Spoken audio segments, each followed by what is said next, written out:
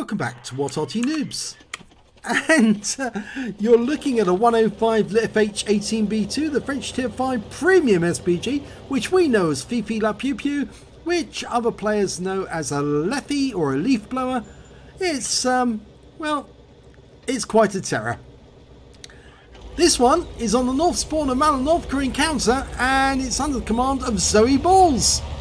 And I believe she's actually on her NA account. Well, she's headed off to her favourite firing position. At least I think she is. Yep, this is her favourite one. I've seen her fire from here before.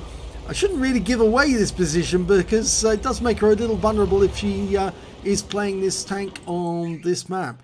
She's gone to overhead view. Okay, right, well, she's waiting for an enemy target and there's one popped into sight. A T-3485. But um, she's not aiming at it yet. Now she is. Oh, just sorting herself out. Okay, dialing in on target. Rounds out.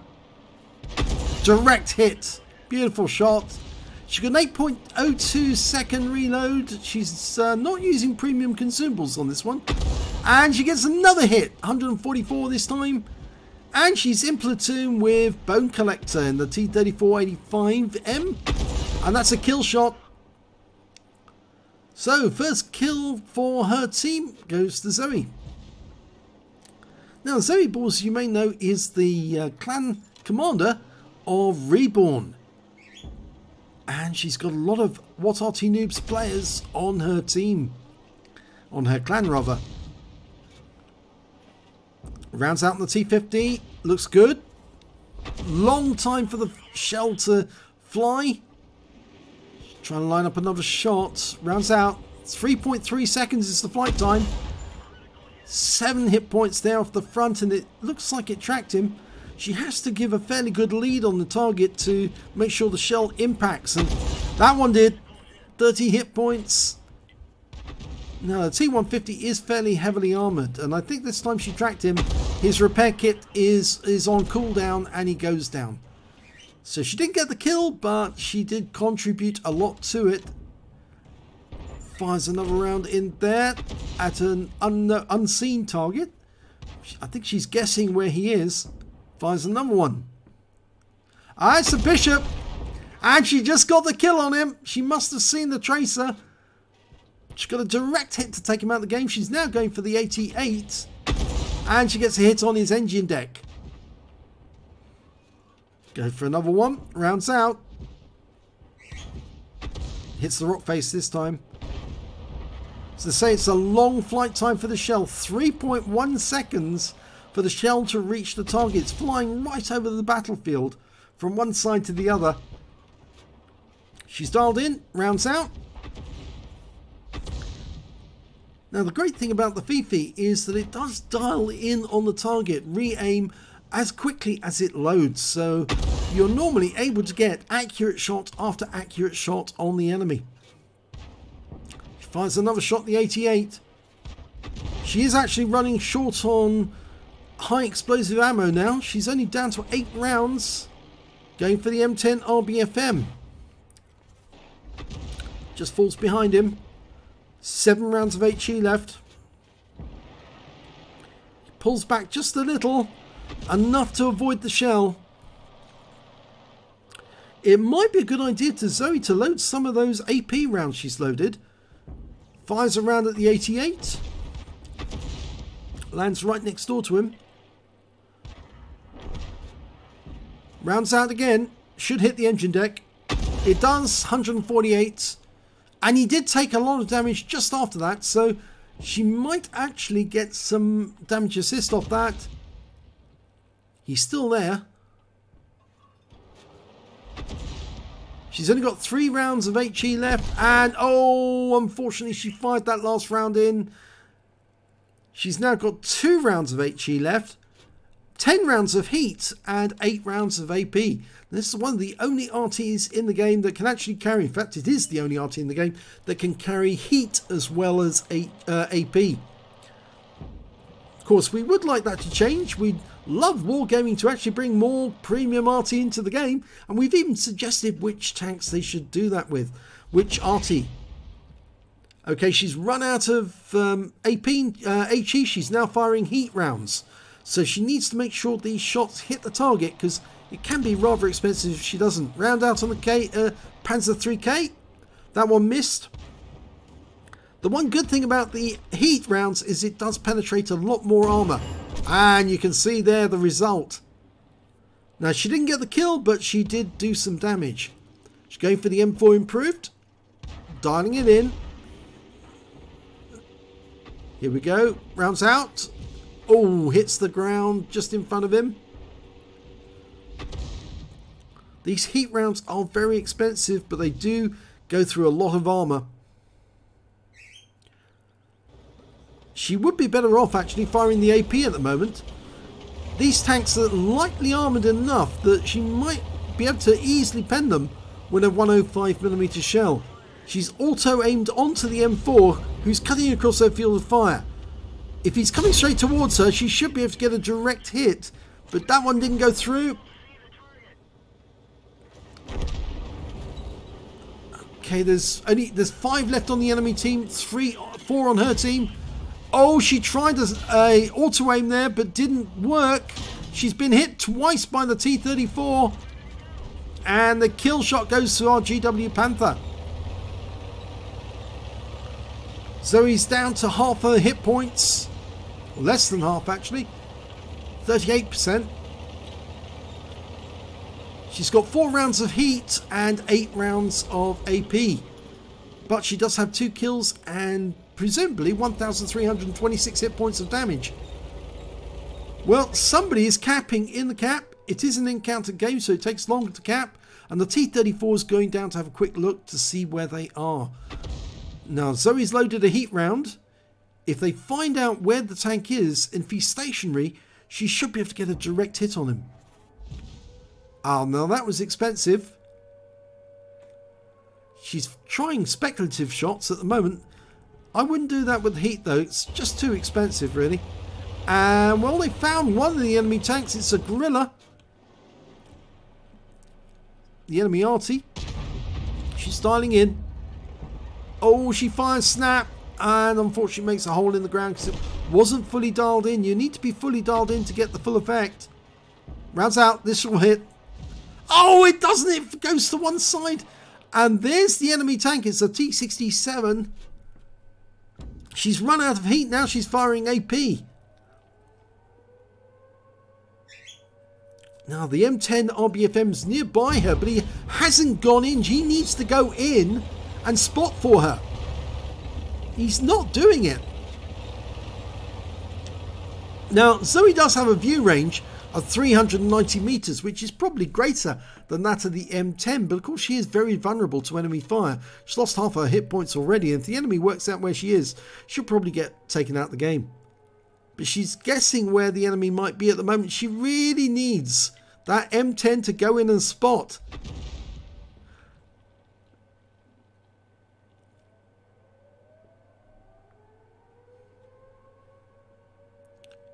The M10 slowly moving towards the enemy.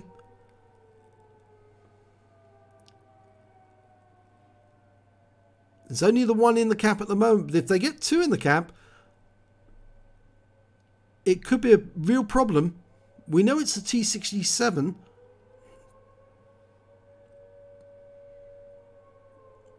So he says she only has six shots left. And of course she has to make those shots direct hits in order to make it work. She just simply cannot see the enemy. There he is. There's the T-67. She works out where he's headed, fires around in, and kill shot! 105 millimeter round does do a lot of damage, even if it's only armor piercing. Excuse me. Now we're trying to see where that Grilla is he was last seen up on top of the hill, having a quick look at the cap area. He's probably still up there, but the enemy has got an M10 RBFM, an M12 and that Grilla. There's still five minutes left. But if I was in one of the enemy tanks, I'd be getting close. And there is one of the enemy tanks. It's the tank destroyer. It's the M10 RBFM. So he fires around in. And potentially that's a high caliber. She shot him right in the rear. He couldn't see her, but she saw him. And unfortunately, we just lost our M10 RBFM. That means it's arty versus arty. And of course, Zoe is an expert arty player. So four kills so far for Zoe. I think what she'll try to do is probably try to go into the cap. She's only got four rounds left anyway. The GW Panther's coming down to join her. And she said, cover me.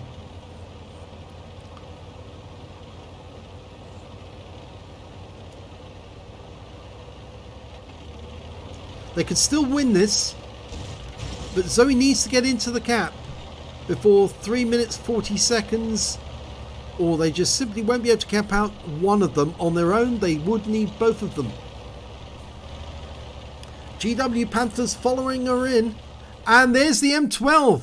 And he's almost at the cap. And I don't think he can see them. But she can certainly see him. That's perfectly on target. Direct hit, 319 hit points. She was seen that time. He fires and misses. Zoe's going to go for another shot. At least I hope she is. And she gets the kill. Oh, and was wiped out by the Grilla. But at least she knows where the Grilla is. He's actually behind the uh, GW.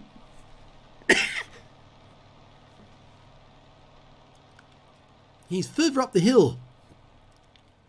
GW is going into the cap, but it sort of indicates to me that the Grilla is actually further away from the cap.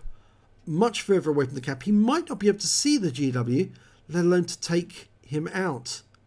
And yeah, Zoe was a bit disappointed she got killed, but she knows how many hit points the Grilla's got left because she remembers that from when she was shooting at him. I'm not sure the GW has enough time to cap out.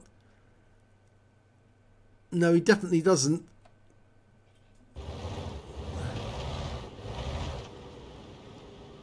There's a slight discrepancy. I think you can see it. I also wouldn't park there because that's the most obvious place that any arty player will aim straight for. Best place to actually sit would be directly behind the camp because somebody's still left it there.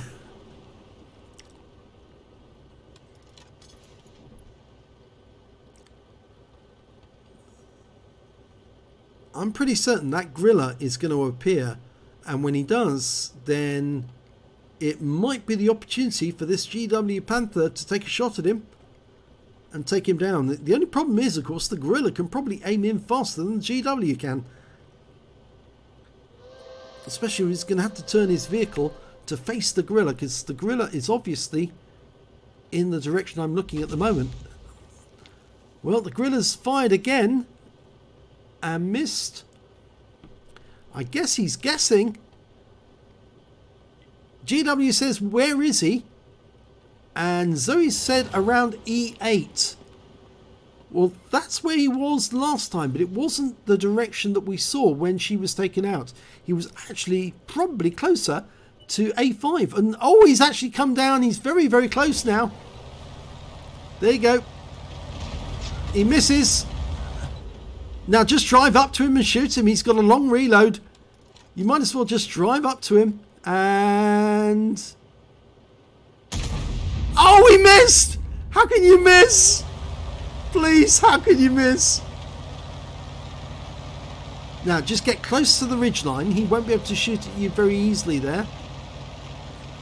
Wait for the reload to go in. Wait until he gets really close. And then shoot. He misses. He loses it. And he rams himself to death. And Zoe was right. It was only 58 hit points. So they win the battle with an accidental ram by the Grilla. What a way to win the game. Well, let's have a look at the end of battle stats. It's an ace tanker for Zoe Balls in the 105 FH18B2. And, uh, well, actually, I suspect that this was actually not on the NA server. I think this was on the, on the European server. And yes, it definitely was her best battle in the VP so far. It was quite funny. She got a Bruiser medal for getting at least five critical hits. She managed to get 12. A fighter badge for getting at least four kills. She got five. A Gore's medal for doing more damage than 10 times the hit points of her own vehicle. And she got the high caliber for dealing the most damage in the battle overall. So let's have a look at team score. There you go, top of the table, 2,293 hit points of damage. Next highest score was T67 on the enemy team with 1667. That was the guy who was capping. When it came to kills, again, so he's got the highest number, five kills. The GW managed to get three with that last kill on the Grilla. T67 and the M10 on the enemy team managed to get uh, three kills apiece. And when it came to base XP, well, she's got the top in all three columns. 1,250 base experience points for Zoe, 802 for the GW, 679 for the Thunderbolt. She fired 40 rounds, got 17 direct hits and 5 penetrations. She only had 2 rounds left at the end of the game, both of them were AP. 14 splash as well, damage of 2,293 hit points, of which 1,741 were at more than 300 meters. She received three hits, and two of them were penetrations. One hit was the splash damage one. That came from the Grilla, took her out the game. Two enemy vehicles spotted, eight enemy vehicles damaged, five killed, and 768 hit points of damage resistance. And she managed to get 10 defense points when she took out the M12 in the cap. And that was a difficult shot because he was over a ridgeline and she was trying to adjust the aim from above. And it was very, very, very difficult to get it accurate.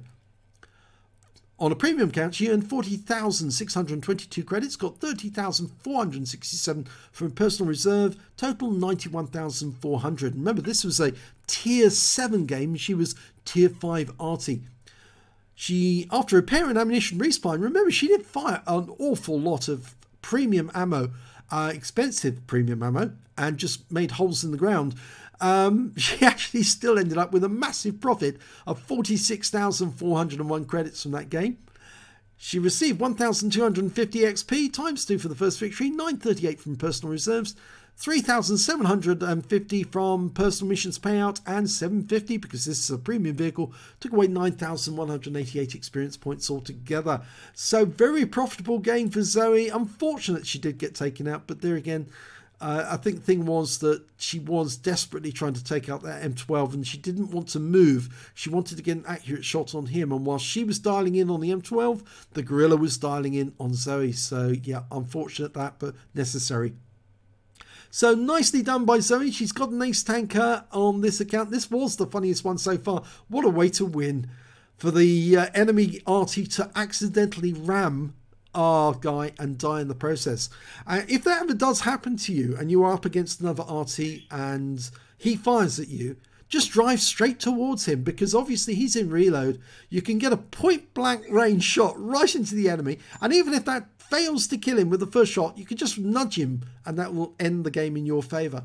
Just remember that next time because I've done that a few times as well. In fact, I drove up behind an enemy heavy tank in my M44 once, shot him in the ass, didn't kill him, but uh, once I shot him in the ass, I then nudged him from behind and that killed him. So it does work. If you enjoyed that replay, please give this video a like and do subscribe to our channel. And thank you for watching.